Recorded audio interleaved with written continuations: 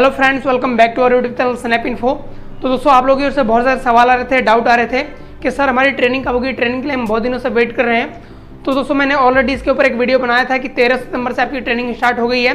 तेरह सितंबर से ट्रेनिंग यहाँ पे करवाई जा रही है बैच वाइज और एक बैच में यहाँ पे हंड्रेड लोगों को बुलाया जा रहा है। एक बैच में हंड्रेड लोगों की ट्रेनिंग हो रही है। और मैंने उस वीडियो में आप लोगों को यह भी बताया था कि ट्रेनिंग के लिए आपको वेट कर लेना है। आपको जल्दी कॉल रिसीव हो जाएगा। ट्रेनिंग के लिए कॉल आना स्टार्ट हो गया है। तो फाइनली दोस्तों, मुझे भी यहाँ पे ट्रेनिंग के लिए दो दिन पहले कॉल रिसीव हुआ। क्योंकि मैंने भी यहाँ पे दिल्ली सिविल डिफेंस वॉलंटियर के लिए अप्लाई कर रखा था, आज से कुछ साल पहले।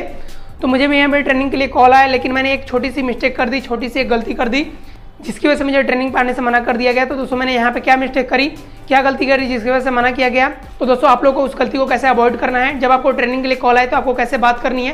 क्या क्या चीज़ें उन्हें बतानी है, जिसकी वजह से आपकी ट्रेनिंग हो सके, आपको ट्रेनिंग के लिए बुला लिया जाए। तो दोस्तों, आज की इस वीडियो में आपको इसके बारे में कंप्लीट जानकारी देने वाला हूँ। तो दोस्तों, आपको वीडियो को स्किप नहीं करना है। पूरा वीडियो आपको ध्यान से देखनी है। और वीडियो में गवर्नेंस पर दोस्तों एक छोटा सा रिमाइंडर है। अगर आप इस चैनल पर नए हैं तो प्लीज़ चैनल को सब्सक्राइब कीजिए बेल आइकन दबाइए नोटिफिकेशन को ऑन कीजिए, ताकि ऐसी इन्फॉर्मेटिव वीडियो आपको मिलती रहे।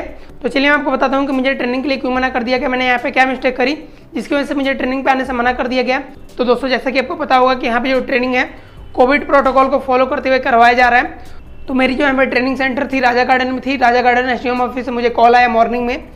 और जो यहाँ पे सीनियर ऑफिसर थे, उन्होंने मेरे को बोला कि, सर, आपको ट्रेनिंग के लिए शॉर्टलिस्ट किया गया है। आपकी ट्रेनिंग होने वाली है और आपको राजा गार्डन आना है और मैंने राजा गार्डन डीएम ऑफ़िस से कॉल किया है।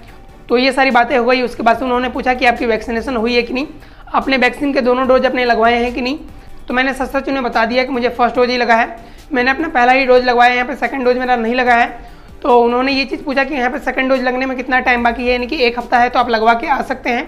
अगर ज़्यादा टाइम लगने वाला है तो आपको फिर से वेट करना पड़ेगा ट्रेनिंग के लिए। तो मैंने अभी दो वीक पहले ही फ़र्स्ट डोज लगवाई है तो मैंने उन्हें साफ़ साफ़ बता दिया कि मैंने फ़र्स्ट डोज अपनी दो वीक पहले लगवाई है और, और मुझे दो से तीन महीना तक और वेट करना पड़ेगा सेकेंड डोज के लिए तभी मैं यहाँ पे फुल्ली वैक्सीनेटेड हो पाऊँगा। तो उन्होंने जैसे ये बात सुनी उन्होंने साफ़ साफ़ मना कर दिया कि जब तक आपका यहाँ पर दोनों डोज नहीं लगेंगे आपको ट्रेनिंग के लिए नहीं आना है आपकी ट्रेनिंग नहीं हो सकती है। तो दोस्तों अगर आपने अभी सिविल डिफेंस वॉलंटियर के लिए अप्लाई किया है और आप ट्रेनिंग के लिए वेट कर रहे हैं तो आप मेक श्योर कर लीजिए आपने वैक्सीनेशन के दोनों डोज लगवा रखे हैं। और जब भी आपको कॉल आती है तो आपको उन्हें बताना है कि, सर, मैंने दोनों डोज लगवा रखा है, मेरे दोनों डोज लग चुके हैं और मैं फुल्ली वैक्सीनेटेड हूँ, मैं ट्रेनिंग के लिए एलिजिबल हूँ। तो अगर आप ये चीज़ बताएँगे तो आपकी ट्रेनिंग होगी। अगर आप उन्हें बताएँगे कि आपकी फ़र्स्ट डोज लगी है और अभी आप फुल्ली वैक्सीनेटेड नहीं है तो आपको साफ़ साफ़ मना कर देंगे।